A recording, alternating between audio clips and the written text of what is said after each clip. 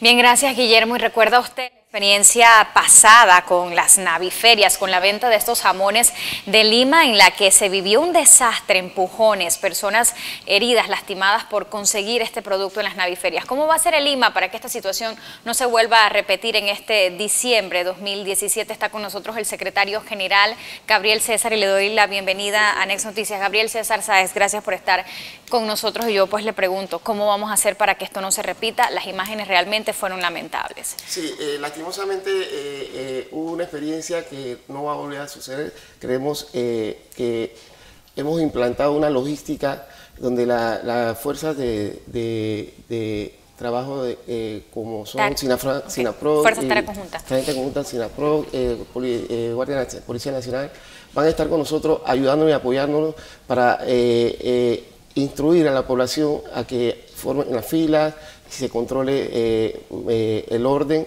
y, tenemos establecido eh, una venta controlada eh, con boletos eh, que se van a entregar en las filas. Y cada comprador que llegue a, tener el jamón se le va a poner tinta indeleble para que no vuelvan a controlar y que no vuelvan a repetir otra vez y así las filas vayan fluyendo rápidamente. Ahora bien, ¿cuántos jamones o de cuántos jamones van a disponer en estas naviferias? El año pasado una de las quejas recurrentes justamente fue que no alcanzaban los jamones, era lo más buscado. Sí, este año, este año eh, tenemos 240 mil jamones, los cuales se van a vender a 8 dólares y estarían entre 8 a 10 libras eh, a la venta al público.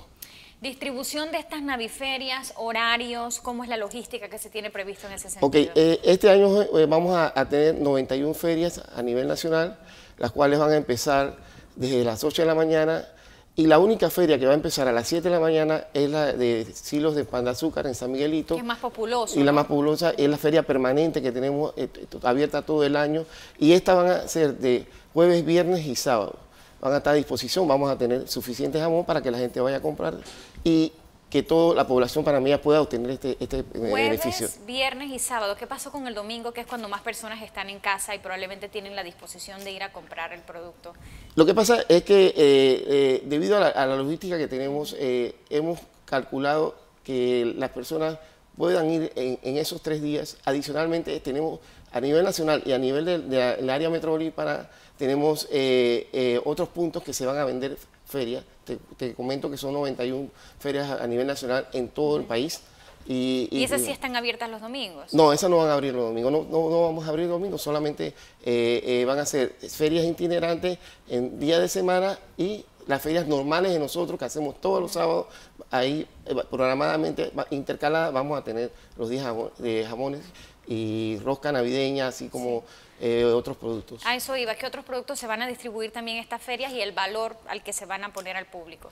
Ok, eh, además del jamón que cuesta 8 dólares, vamos a tener rosca de pan a 1 dólar, vamos a tener eh, las galletas navideñas a 1.25, adicional tenemos guandú enlatado, piña en rodaje enlatada, y, todo lo demás, la variedad que siempre hemos ofrecido en nuestra feria, vamos a, las personas van a poder llevarse dos bolsas de arroz, a 5 dólares cada una.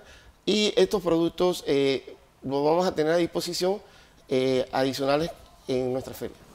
Ahora bien, ¿podrían ustedes promediar más o menos cuánto se va a ir en esta canasta básica navideña? Más o menos cuánto se tiene que presupuestar para poder adquirir los productos aquí. El panameño, ¿con cuánto hace una cena en estas navidades? Sí, nosotros hemos estimado eh, a un valor de 17 dólares los productos que ya te mencioné. ¿Incluyendo ya el jamón Incluyendo ya el jamón. Eso va a ser eh, un ahorro de 30 balboas con los, eh, con los productos actualmente en el mercado eh, eh, local, eh, ellos, las, personas pueden ahorrarse 30 balboas, que es lo que hemos estimado. ¿Cuándo arrancan ya oficialmente estas naviferias? Ok, las ferias van a, empezar el sábado 2 de diciembre hasta el 22 de, diciembre que vamos a tener la última feria en, bueno, quiero cederle entonces los últimos segundos en esta entrevista informativa para que usted extienda la invitación a los panameños a que pues acudan a estas naviferias que tanto ayudan en el ahorro de esta canasta básica navideña, pero con orden, que no se vuelva a repetir estas imágenes lamentables sí, eh, ah, eh, ah, queremos eh, invitar a todas las personas, al pueblo panameño, que acudan con orden, que no lleven niños en brazos, porque es un, son un área de, de muchas personas mucha, mucha concentración de personas y esto eh, este, no queremos que pasen eh, por malos ratos estas personas que llevan niños con la idea de, pasar a la fila y todas esas cuestiones. Hay, tenemos filas para jubilados, tenemos filas para, todas las personas y queremos que exhortarlos a, que vengan, que vengan a comprar el, producto de nosotros, el jamón muy buscado, y, que puedan así contemplar una cena navideña para todo, todo el pueblo panameño. Solo para que quede claro, este sistema de boletos previo a la compra, ¿cómo va a ser? ¿Tiene una avanzada de que va a dar el boleto? ¿Cómo, cómo le cobran a la Sí, tenemos, tenemos eh, personas eh, de entera confianza de, la dirección, las cuales son las encargadas de repartir en fila los boletos hasta que se acaben los jamones. O sea, tenemos cantidades estipuladas y por eso queremos repartir boletos para que las personas no hagan la fila eh, eh, en una forma de que después se van a quejar de que no pudieron conseguir el jamón porque no, no, tenían los, boletos. ¿El pago es únicamente en efectivo? ¿Se está permitiendo algún tipo de certificado? No, va a ser todo en efectivo. También queremos que la, gente lleve un eh, el dinero en, eh, menudeo para que no, no tener ese, atraso en la fila y esa cuestión y que todo fluya rápidamente. Por último, la disposición de jamón al día en un sector populoso, por ejemplo en San Miguelito.